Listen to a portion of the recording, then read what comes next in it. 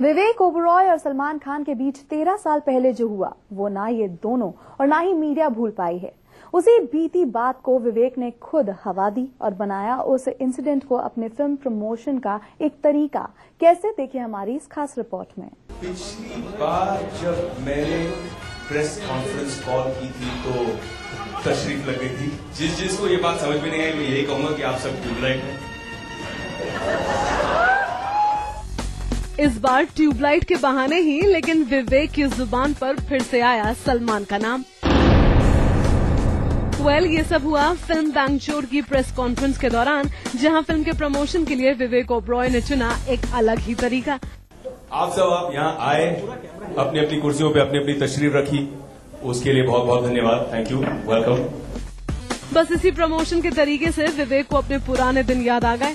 जब आज से करीब तेरह साल पहले उन्होंने सलमान के लिए रखी थी एक प्रेस कॉन्फ्रेंस जिसमें उन्होंने सलमान के खिलाफ कहा था बहुत कुछ। बस, तब से लेकर आज तक सलमान ने बॉलीवुड में सबको माफ़ किया, लेकिन विवेक को सलमान ने आज तक माफ़ नहीं किया, जिसका गम उनको आज भी है।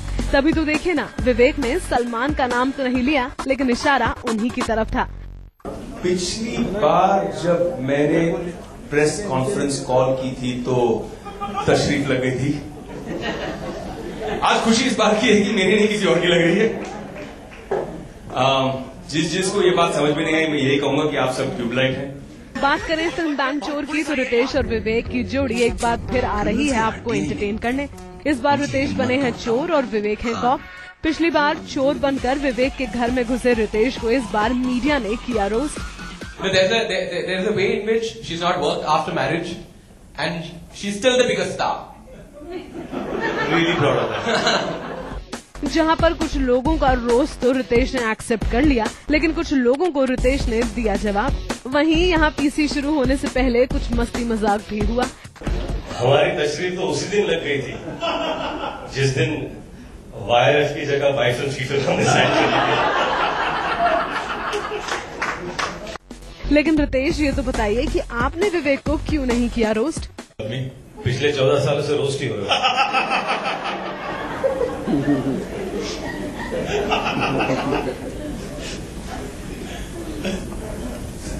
जी मेरा जवाब यही था। चलिए रितेश ये भी बता दीजिए कि विवेक की ऐसी कौन सी बात है जिसके बारे में हम भी नहीं जानते? विवेक के पास बहुत बड़ा मुँह है। जो बातें कोई नहीं जानता वो खुद ही अपने मुँह से दुनिया भर को बता देता है।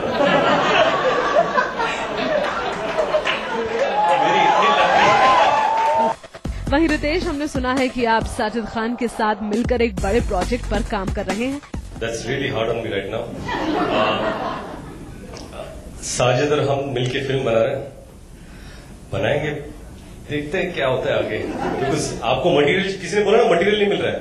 Me and Sajid are back together so you get more material soon अभी तक तो विवेक ही सलमान को याद कर रहे थे फिर मीडिया ने विवेक को याद कराना शुरू किया सलमान का नाम जिस पर विवेक को देना ही पड़ा जवाब। क्या विचार आएगा? बोलूँगा बहुत अच्छा करता है। और जब पार्ट थ्री आएगी मैं भी देखने जाऊँगा।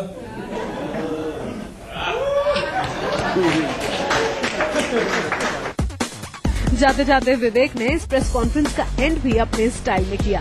On that very entertaining and funny note, uh, I'd like to call this uh, event to an end. Thank you so much to everybody for coming here and taking our tashrif. Uh, see you all on 16 June in the theatres.